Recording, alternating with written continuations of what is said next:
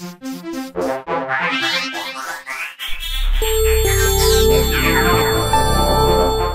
there, it's Donna and Rhonda from Heart of the Matter Professional Organizing, and we are gearing up. It's time for back to school. And with back to school comes paper. Major paper. We work on this a lot with our clients in their homes. But tell us, Rhonda, what do you do? What works with your girls and in your household?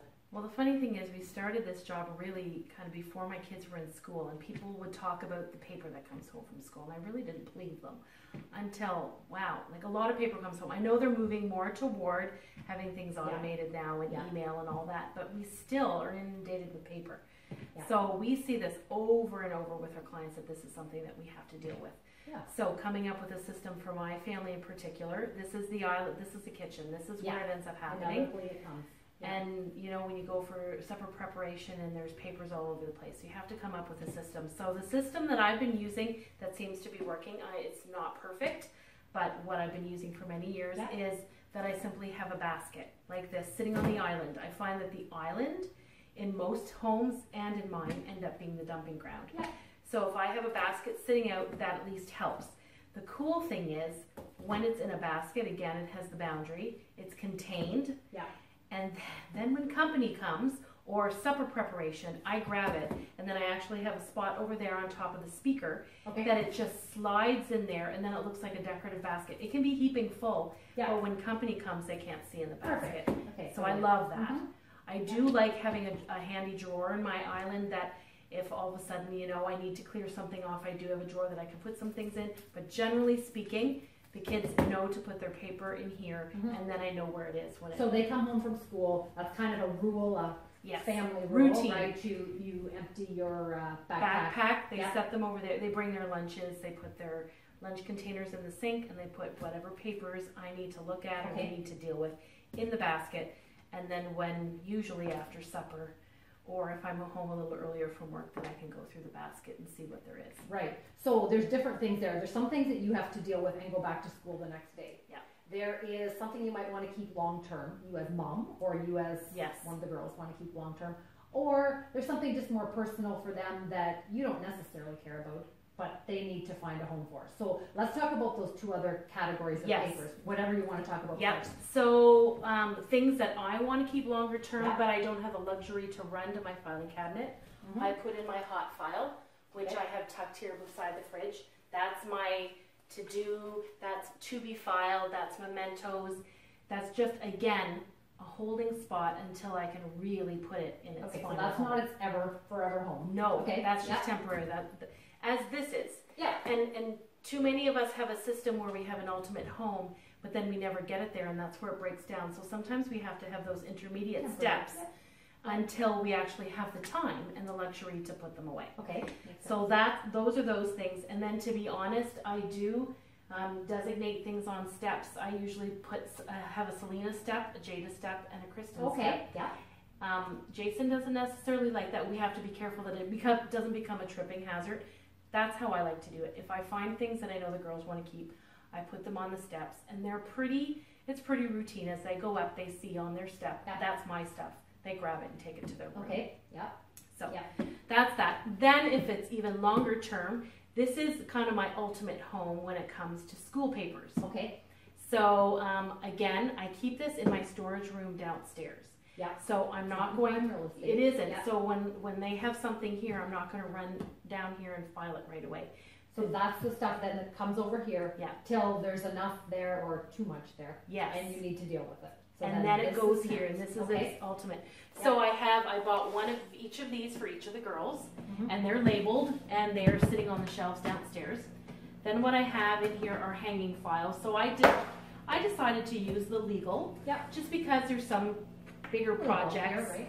that they need to bring home, and then I have them labeled, and it starts right here from baby. And then all of the years in here, I've got their school pictures, their envelopes, their Ah, report good cards idea. go in here, but I have a file for each year so they know where to go. Right. Now, the thing is, this can become full quickly, but I always say, like, you know, when kids bring pictures home or they create something right then and there, it's super important, and Yeah. they can't bear to get rid of it. Yeah. Okay, I'll put it in here. Yeah. But then it's teaching them to go back and look through, Mhm. and we do that. They love going back and looking through Yeah, the sure. files. But they'll go back and look, and if they see something that, "Mm, well, that wasn't my best work, or uh, I, I like this one much better, then they can prioritize. They're ready to get rid of it because they're a little more re- removed from it. Sure, And then we pare it down, but they know that this is their boundary. yeah, And so they can't go any, they can't go beyond this. So if they really want to put something in there, they need to weed something else out. And that's a skill Mhm. that we need to teach our kids because we can't keep everything. right. We absolutely can't, so. And a bin this size with a lid on that a mom Mhm. would hand to any growing child Yes, is a reasonable amount, right? absolutely. Uh, we see lots of our clients on the seniors move side of things, you know, that through the years, a lot of this sort of stuff has been really near and dear to their hearts, but the kids don't necessarily care. So I, I guess there's that part of it too. Maybe some of the things in there are things that you want to keep, Yes. you know, because you see them as significant, and I guess some would be for the kids Yes, that and, they chose. and I, I do have my own mementos bin. So if there's some things True, that yeah. I really like that my kids don't really care about, but I want to keep it, Yeah. I put it in my memento Okay. bin. Good and to I know. keep that under division my there. underneath my bed. Yes, you use it under the bed bin. Yes, Right. My husband has one and I have one, and so that's where we put anything that um, is meaningful to us because really mementos are the things that end up flying around the house because those are the things we know we want to keep, but they came into our house not with a designated home, Right. So we Right. need to designate the home for them. Right, right. And so then one more quick thing, can you say just a little bit about, what about something like this for your girls in their own personal space? Do they have any sort of little filing system? Yes. Or how does that work? Yes. Um, my oldest has a drawer in her desk, and so Okay, we yeah. set up a mini system for her with hanging files. Again, I- it's really important that you use hanging files, not just the manila file folders, because they'll kind of droop down, and it just makes it easy to put away. So my Mhm. oldest definitely Mhm. does. My middle one doesn't deal with as much paper, so she hasn't really seen it necessary. Where my youngest, Mhm. she's kind of the one that wants to be an author yeah. and writes lots of things and loves paper. So the interesting thing is I have a paper system with my oldest and my youngest, but not Mhm. with my middle. Mhm. And um, and my youngest, she actually has um, a paper box in her bedroom, Yeah. and we have sat down with her paper and we have designated the different categories.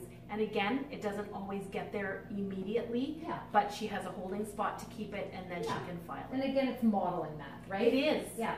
teaching them that they can figure out the categories and then they, they have the comfort of knowing when they want to find those sheets again, they know mm-hmm. exactly where they are. And because they're labeled, we've come up, I didn't come up with the categories, Selena did. Yeah. So yeah. she wrote what those categories were so that it, it's logical for her when she goes to put them Right, away. and there wouldn't be a right or wrong name. It's Nope. what, it's what makes sense to her. Absolutely. Yeah, okay, good. So some good kid-friendly paper strategies for back to school. This is a great time to be thinking about them. We want to hit the ground running in September and uh, getting things set up to work really efficiently in your family. Thanks for tuning in today. Thanks. Thank you